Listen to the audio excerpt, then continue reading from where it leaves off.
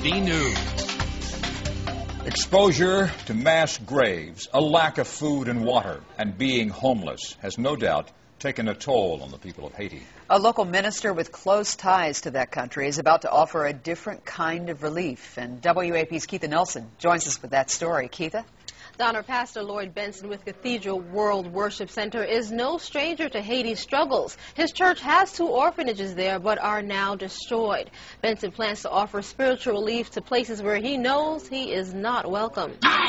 In a place where the age-old practice of voodoo is prevalent, Pastor Lloyd Benson is working to spread Christianity. Haiti! Haiti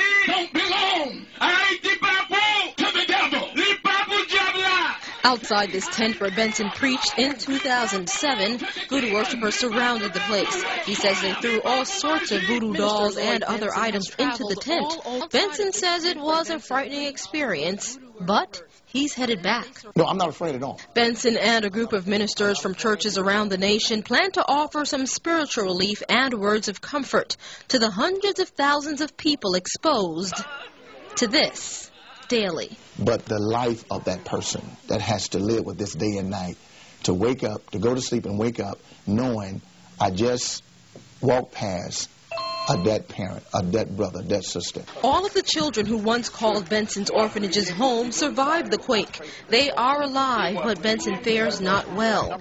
Even with food and water, exposure to these conditions, he says, can kill them inside. I believe that food and water is, is, is, is an answer to what's happening there. But more so, the ultimate answer, I believe, is the spiritual element in the life of the people.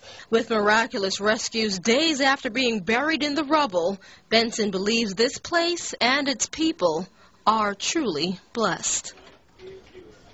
Benson is headed to Atlanta tomorrow to meet with the group going to Haiti. To find out how you can help with relief efforts, visit our website at WAFB.com. Remember, your donations are tax deductible.